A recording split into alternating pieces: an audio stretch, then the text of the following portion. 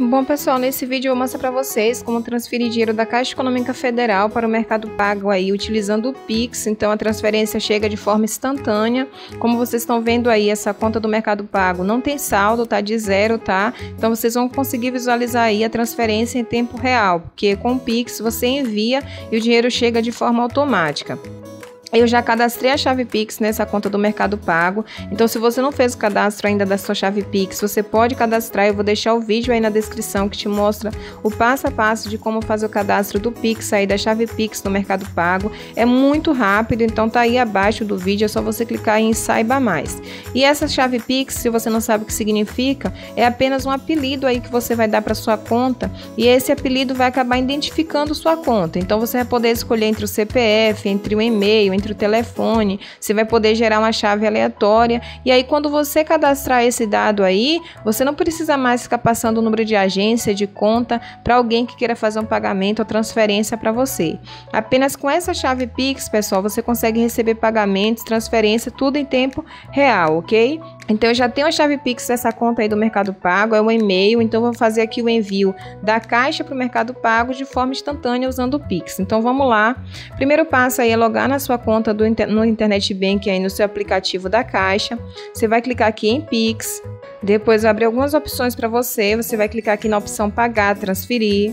Vai aparecer novamente embaixo aí pagar, transferir em azul. Você clica novamente você vai ser redirecionado para essa página. Nessa página aqui, observem que a chave já aparece selecionado aí, mas você pode utilizar também agência e conta se você quiser colocar aí os dados da sua conta do Mercado Pago. Você pode clicar aqui agência e conta e colocar esses dados sem ter cadastrado a chave Pix. Você também tem essa opção. Eu vou usar a chave aqui que é muito mais rápido. Então vamos lá. Agora eu vou clicar aqui em selecione o tipo de chave. No caso dessa conta do Mercado Pago, a pessoa escolheu o e-mail. Então eu vou selecionar aqui o e-mail, porque no caso eu tenho que selecionar aqui o tipo de chave da conta que eu vou enviar o dinheiro, ok?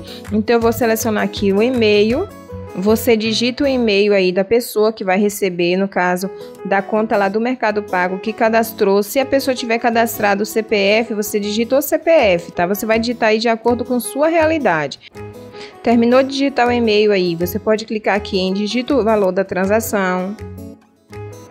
Nesse caso, eu vou enviar apenas um real mesmo, é só para gravar o vídeo. Você pode digitar o valor que você quiser. Como o Pix não tem tarifa, você pode enviar um real que vai tranquilamente.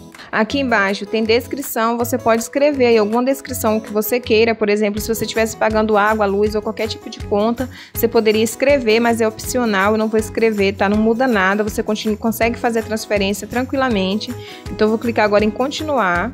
Observem aqui que já aparece aí os dados do recebedor, da pessoa que vai receber, e eu só coloquei o e-mail, tá? Por isso que a chave Pix é muito bom, você não precisa digitar nada, já aparece tudo aí para você digitadinho, aparece o nome completo, parte do CPF e o banco que no caso eu vou estar tá fazendo essa transferência, o envio, né, que é o Mercado Pago. O valor aí, descrição não aparece porque eu não coloquei. Agora é só clicar aí em continuar. Pergunta aí agora, pede para eu confirmar os dados, tá? Para poder fazer o pagamento via Pix. Então tá tudo certinho aí, o valor tá certinho. Eu vou clicar em continuar novamente, você confere os dados para ver se tá tudo certinho. Agora pede para informar a assinatura eletrônica, você digita a sua assinatura eletrônica aí do aplicativo da Caixa. Terminou de digitar, clique em continuar.